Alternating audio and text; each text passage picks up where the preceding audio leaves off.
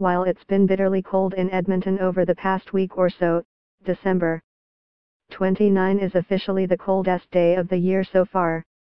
The city dipped below minus 30 C for the first time in 2017 on Friday morning. Edmonton hit minus 31 C at around 7 a.m. Before this, the coldest temperature recorded in Edmonton this year was on Boxing Day, when the city hit minus 28.9 C. Read more, dangerous deep freeze having impact on Edmonton's first responders. Those temperatures are before the wind chill is factored in. With the wind chill on Friday morning, the temperature in Edmonton felt more like minus 38. Wind chill values in other parts of Alberta included minus 45 in Fort McMurray, minus 44 in Lloydminster and minus 36 in Red Deer, according to Global Edmonton meteorologist Tina Simpkin. Map a look at how grossly cold it's been across Canada.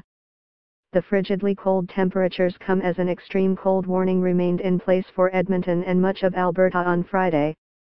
In fact, extreme cold warnings were in place for six provinces and one territory on Friday morning. Extreme cold warnings continue and a snowfall warning is issued by EC for Crowsnest Pass. A system tracking to our south, will bring snow to southern Ob tonight slash Saturday am at globaledmontonpic.twitter.com forward slash hknmsdaue. Tina Simpkin, at Simpkin, December the 29th 2017. The cold temperatures are expected to stick around until the new year.